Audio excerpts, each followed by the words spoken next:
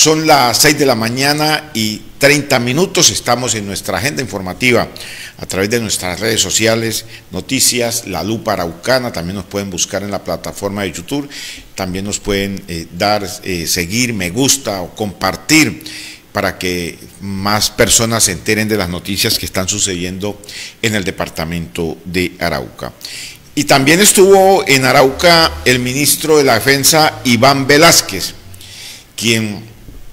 vino a hablar con las empresas petroleras, donde allí eh, vino a garantizarle la seguridad a estas empresas para que eh, sigan o, eh, prestando sus servicios en esta región del país. Lo que sí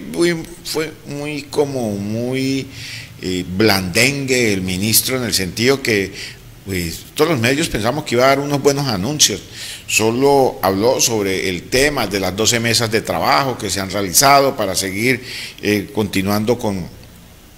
con este trabajo con las empresas petroleras.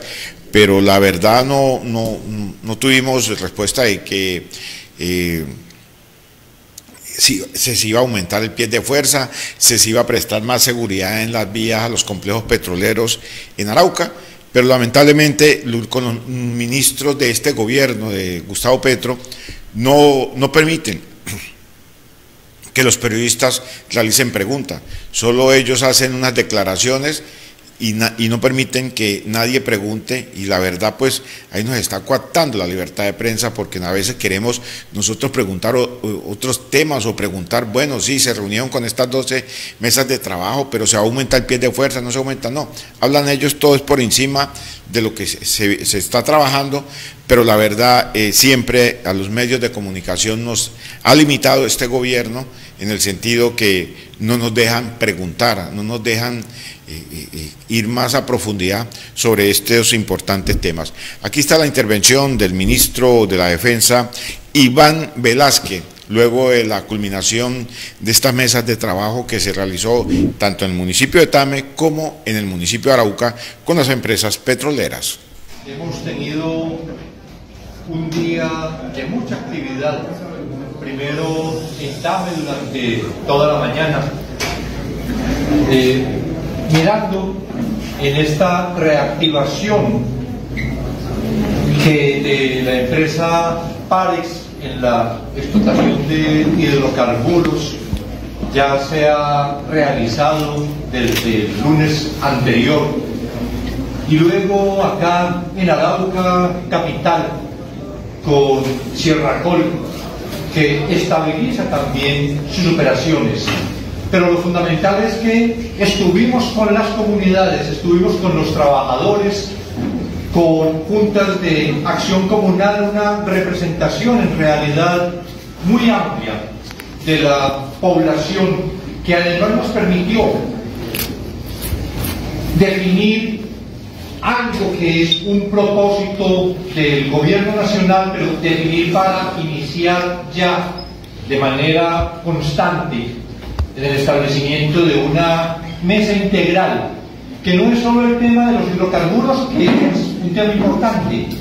pero que es el tema de la recuperación económica, social, política del departamento. Y que para eso entonces hemos, nos hemos comprometido a generar un espacio con las comunidades, con todos los sectores productivos también del departamento,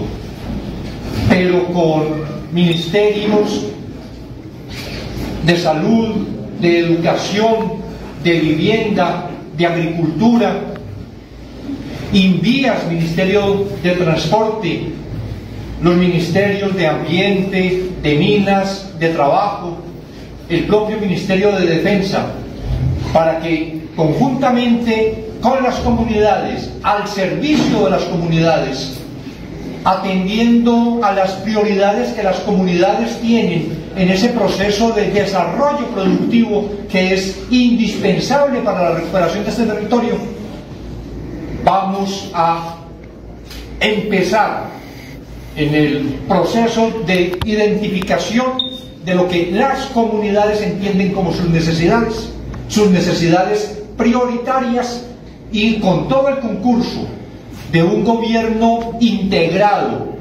y de un gobierno que es el gobierno para la gente, que es el gobierno de la gente, que es el gobierno del diálogo, que es el gobierno de la vida, que es el que pretende desarrollar como gobierno del cambio esta propuesta de que Colombia sea potencia mundial de la vida. Y para que lo sea